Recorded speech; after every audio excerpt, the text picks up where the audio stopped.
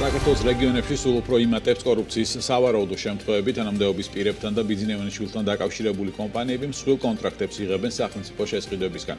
კორუფციის რუკას საერთაშორისო გამჭვირვალობა საქართველოს აქვეყნებს დოკუმენტში თავმოყრილია ის საერთო ტენდერები და გამარტივებული შესყიდვები, რომლებსაც საერთაშორისო გამჭვირვალობა საქართველოს იკვლევდა სხვადასხვა დროს და შესაბამის სახელმწიფო სტრუქტურებს ოფიციალურად მიმართავდა რეაგირებისთვის და სავარაუდო კორუფციის ფაქტებზე, რომლებიც ამ შესყიდვებში იკვეთებოდა. მაგალითად, აჭარის მაღალმთიანეთის მაჟორიტარის ანზორ ბოლკოძის ნათესავების კომპანიამ 2016-2023 წლებში სახელმწიფო შესყიდვებიდან ჯამში 16 მილიონ 500 ათას ლარზე მეტი მიიღო. ბათუმის აკრებულოს ყოფილ წევრთან ირაკლი თოფურიძესთან დაკავშირებული კომპანიები აჭარა განათება და განათება უკონკურენტოდ იგებენ ტენდერებს აჭარის მუნიციპალიტეტში კომპანიებმა 79 მილიონ ლარზე მეტი მიიღეს.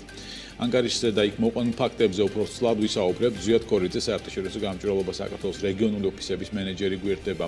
პირდაპირ ეთერში ბატონო ზიად მოგესალმებით, მადლობა თქვენი დროისთვის. მოგესალმებით ვიუსალდეთ მაყურებლებს. პირველ რიგში მოდით ანგარიშზე ვისაუბროთ, რამდენად მასშტაბურია ის, რა პერიოდს მოიცავს და რა ტიპის ტენდერებია, ასე თქო, თავმოყრილი და შემდეგ გადავიდეთ კონკრეტულ დეტალებზე. მოკლედ ვიტყვი რომ აი ეს სავარაუდო კორუფციული სქემებით მოპოვებული სახელმწიფო შესაძლებლობის ჯამური ოდენობა შეადგენს 2 მილიარდ 150 მილიონ ლარზე მეც. ეს რაც ჩვენ დავითვალეთ ეს არის ის კვლევები რომელიც სხვადასხვა პერიოდში ჩვენი საერთაშორისო გამჭვირვალობა საქართველოს რეგიონული ოფისების წარმომადგენლებმა შეისწავლეს და მათ მიაქციეს ყურადღება იმას რომ აი ასეთი ტიპის აა სახელმწიფო შესყიდვებში სადაც მონაწილეობენ ეს კომპანიები რომლებიც არიან მაღალი თანამდებობის პირებთან დაკავშირებული ან დაკავშირებული ადგილობრივი ხელისუფლების წარმომადგენლებთან ან დაკავშირებული ბიძინა ივანიშვილთან და ასე შემდეგ, აი ამ კომპანიების მიერ მიღებული თანხების საჯარო შესყიდვებიდან არის გარკვეულწილად საეჭვო სავარაუდოდ კორუფციული სქემით. ბატონოზია, თქვენ კვლევაში საკმაოდ ბევრი შემთხვევაა, როდესაც თქვენ საუბრობთ ინფორმაციასა გამოძიებულ უწყებებსაც და კორუფციის რუკის საერთო სურათი სწორედ ეს არის, რომ ჩვენ ვამბობთ, რომ საკმაოდ გაიზარდა ასეთი სავარაუდო კორუფციის შემცველი кейსები ჩვენს რეგიონებში და მეორე მხრივ ძალიან არაეფექტური არის მათზე გადაღება სხვადასხვა საგამოძიებო უწყებების მხრიდან. ბატონზია, თქვენ კვლევაში საკმაოდ ბევრი შემთხვევა, როდესაც საუბარია უკონკურენტო ტენდერებზე, თუ გესმით? დიახ. უკონკურენტო ტენდერებზია საუბარი, ფიქრობთ რომ ასეთი ტენდერები მორგებულია და რა გაძლევთ ამის თქმის საშუალებას? იცით, აი მაგალითად ჩვენ მსგავსი კორუფციის რუკა გავაკეთეთ 2021 წლის ადგილობრივი თვითმმართველობის არჩევნების წინ და მაშინ სწორედ იმ კომპანიების მიერ მიღებული საჯარო შესყიდვების ჯამური ოდენობა, რომელიც გარკვეულწილად არძრავდა ეჭს კორუფციაზე, შეადგენდა დაახლოებით 660 მილიონ ლარს. აი 2 წლის განმავლობაში ეს თანხა გაიზარდა თითქმის მილიარდ ნახევრით. ანუ ამ კომპანიების შემოსავლები კიდევ მეტად იზრდება და კიდევ მეტად ჩანს ერთი მხრივ აი ამ მაღალი თანამდებობის პირების კავშირი აი ამ კომპანიებთან და ამ შესყიდვებთან და მეორე მხრივ კარგად ჩანს რომ ეს კომპანიები ძირითადად როდესაც იღებენ ამ შესყიდვებს მე ხდებიან ანგარიშვალდებული ერთი მხრივ პოლიტიკურ მართლ ძალასთან ქართულ ოცნებასთან იმიტომ რომ ძალიან ბევრი არის შემომწირველი ქართული ოცნების და მეორე მხრივ იკვეთება გარკვეულწილად ისეთი ფორმები, რომელიც აი ამ ადამიანებს, აი ამ კომპანიებს უფრო სწორად იცავს გარკვეულ იმუნიტეტს აძლევს იმისა, რომ მათ მიმართ არანაირი საგამოძიებო სამუშაოები არ ჩატარდეს და არ შეისწავლონ მათი საქმიანობა. ეხლა ჩვენ ძალიან ბევრი კონკრეტული ისტორია გვაქვს აი ამ ბატონოზიათ კი ბატონო აი ამ საგამოძიებო საქმიანობის ჩატარებას რა საფუძველი აქვს თქვენი ინფორმაციიდან გამომდინარე? რა საფუძველია რომელიც თქვენ ასე ვთქვათ მიწოდებული გაქვს შესაბამის უწყებებზეც მათ შორის? პრობლემები აქ არის უკონკურენტო ტენდერებში პირდაპირ კონტრაქტებში სად უფრო მასშტაბურია ასე ძალიან ბევრი ამაში არის. რა თქმა უნდა არის უკონკურენტო რა თქმა უნდა არის დისკვალიფიკაცია სხვადასხვა კონკურენტების რა თქმა უნდა არის იმაზე რომ მორგებული არის ტენდერები კონკრეტულად ამა თუ იმ კომპანიაზე. არის ძალიან საინტერესო მომენტი მაგალითად როდესაც კომპანია უშუალოდ არის კომპანიის საქმიანობაში, უშუალოდ არის ჩართული საქართველოს პარლამენტის წევრები, ან ყოფილი წევრები, როდესაც მაგალითად ამ კომპანიების საქმიანობა პირდაპირ არის დაკავშირებული მერებთან, საკრებულოს თავმჯდომარეებთან, კომისიების ხელმძღვანელებთან, ადგილობრივი საკრებულობის. აი ახლა მაგალითად რა დიდი თავისუფლება უნდა იმ კორუფციული სქემის დანახვას, როდესაც მაგალითად სენაკის მერიის შესყიდვებში იმარჯვებს კომპანია რომელიც ეკუთვნის დემურ გადელიას და დემურ გადელიას ძვიშვილი ვახტანგ გადელია არის სენაკის მერი. აი აქ რა დიდი კორუფციული სქემის დანახვა გვჭირდება ჩვენ? კი არის რა თქმა უნდა მოსაზრება. ხო, მაგრამ მეორე მხრივ ტენდერში მონაწილეობის უფლება აქვს ამ კომპანიას. ანუ თუ უფლებებზე ვისაუბრეთ, უფლება აქვს, მაგრამ დოკუმენტურად როგორ შეიძლება საგამოძიებო წყამ დაადგინოს ეს?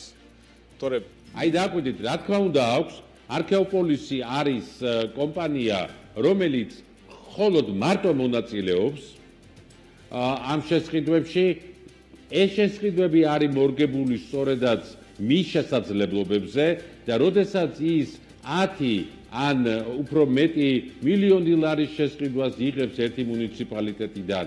ახლა წლევანდელი ინფორმაციები ჩვენ უკვე ხედავთ რომ ის სხვა მუნიციპალიტეტში იგებს ამ შესყიდვას და უკვე როდესაც შემსყიდველი ორგანიზაცია აცხადებს რომ ჩვენ გვინდა გამოცდილების მქონე ჩვენ გვინდა აი ამდენი შემოსავლის მქონე კომპანიამ გაიმარჯოს სხვა კომპანიაც არ მოიძებნება როდესაც შენ ასე გამორჩევით შეარჩევ ერთ კომპანიას რომელიც არის შენთან დაახლოებული რომელიც არის შენი ოჯახის წევრი რომელიც არის შენთან ანგარიშვალდებული კომპანია და ეს კომპანიები იღებენ ამ შემოსავლებს, ბუნებრივია, მათი შემოსაველი ჯამურად იზრდება, ბუნებრივია, მათი გამოცდილებაც იზრდება და ჩვენ ხედავთ იმას, რომ პრაქტიკულად მთელს საქართველოში რეგიონების მიხედვით უკვე იკვეთება კომპანიები, რომელიც რეგიონული თვალსაზრისით არიან ლიდერები, იღებენ ძალიან ბევრ შესყიდვას და მე მათთან კონკურენცია უკვე სხვა კომპანიებს უჭირთ. იმიტომ რომ იმ კომპანიებს არ შეიძლება დაუბრუნდეთ ამდენი შემოსავალი, ამდენი ტექნიკა და ასეთი გამოცდილება. ჩვენ ამიტომ ვამბობთ, რომ აქ არის სწორედ ეს კორუფციული მექანიზმი. ანუ ჩვენ აქ საუბრობთ იმაზე, რომ ამ ფაქტებზე დაფუძნებით საგამოძიებო უწყების დაინტერესების ან ნების არსებობის შემთხვევაში შესაძლებელია, რომ კანონდარღვევა მარტივად თუ რთულად, ასე ვთქვათ, იყოს შემჩნეული. როდესაც თქვენ საუბრობთ მორგებული ტენდერია, როდესაც მიგვაჩნია, რომ ასეთი რამის დადგენა შესაძლებელია. აჰა კი ბატონო. მასშტაბურობის ნაწილში ყველაზე მასშტაბური თუ არ ვშტები აჭარის რეგიონში იყო, როდესაც კლევას ეცნობოდი, შემდეგ სამცხე-ჯავახეთი მოდი, სადაც საკმაოდ დიდი მოცულობის ტენდერებზია საუბარი ჯამურად რომ ავიღოთ. გზები, რასაც თქვენ ამ პერიოდში მიმართეთ და სად მიგიყვანათ, ასე ვთქვათ, ამ გზამ, საგამოძიებო უწყებთან ურთიერთობების. აა არცადაც არ მიდის ეს კომუნიკაცია, იმიტომ რომ არ იწება ამ ფაქტების შესწავლა.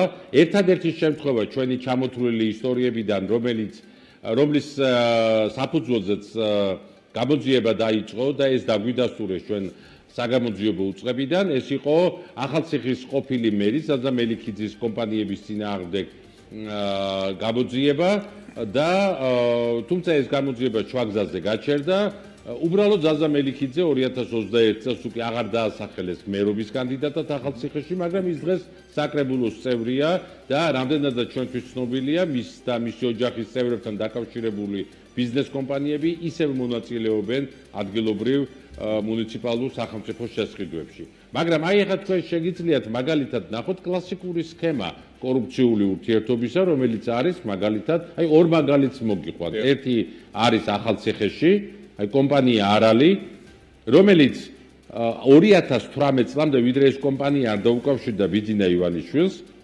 2018 წლამდე მთელი 7 წლის განმავლობაში ამ კომპანიას ჰქონდა მოგებული სულ 51 მილიონი ლარის შესყიდვა. სხვადასხვა დონეზე როგორც ცენტრალურ ისე ადგილობრივზე ბოლო 6 წლის გან 5 წლის განმავლობაში ამ კომპანიის შემოსავალი გახდა 363 მილიონი ლარი და მხოლოდ და მხოლოდ იმიტომ, რომ ამ კომპანიამ შეძლო ის, რომ მან ჭყალებში, არ მიყვარს ეს ტერმინი, მაგრამ ყველაზე კარგად გამოხატავს არს დაალაგა ურთიერთობა ბიძინა ივანიშვილთან.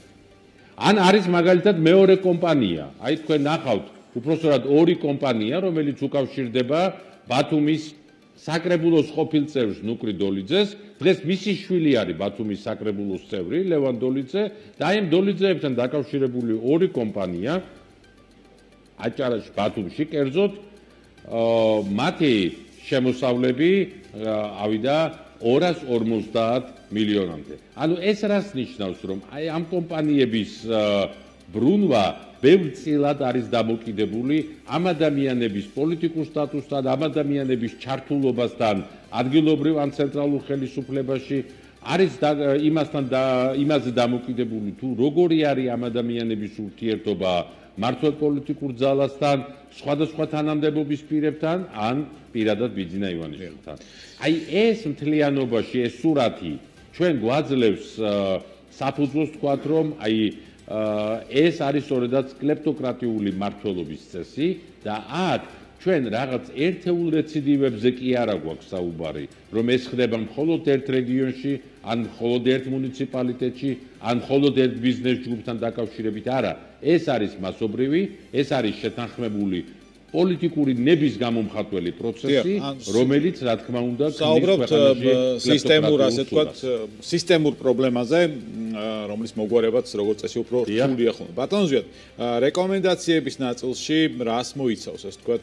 თქვენი ანგარიში, რა თქმა უნდა, აქ საგამოძიებო წყების ნებაზია ბევრი რამ დამოკიდებული ან კნებად პოლიტიკურ ნებაზე, თუმცა რომ არ მივიდეთ აქამდე, სამომავლოდაც მათ შორის რა ტიპის საკანონმდებლო ბაზა უნდა ქონდეს ისეთი, რომ ეს კითხვის ნიშნები მაქსიმალურად შეიძლება. კორუფციის რუკის შეთავაზება საზოგადოებისთვის დღეს არ არის რაღაც ახალ აღმოჩენილი გარემოებების, ახალ აღმოჩენილი ფაქტების შეთავაზება ეს არის უკვე მრავალგზის ჩვენი სხვადასხვა წარმომადგენლობების მთლიანად მთელი ორგანიზაციის მიერ მოპოვებული, დამუშავებული და გაზიარებული ფაქტების კიდევ ერთი ნაკრები და ჩვენ ამით ვეუბნებით საზოგადოებას, რომ ერთ მთლიანობაში დავინახოთ სურათი, კორუფციული სურათი, შევაფასოთ, რომ ეს ნამდვილად არის კლეპტოკრატიის კლასიკური მაგალითი, კიდევ ერთხელ დავწმუნდეთ, რომ ელიტური კორუფციის ხარისხი საკმაოდ მაღალია საქართველოში და ბუნებრივია, ყველა გადაწყვეტილება ჩვენმა საზოგადოებამ უნდა მიიღოს სწორედაც აი ამ მონაცემებზე დაღნობით, ამ მონაცემებით უნდა შეაფასოთ მან მდგომარეობა ქვეყანაში.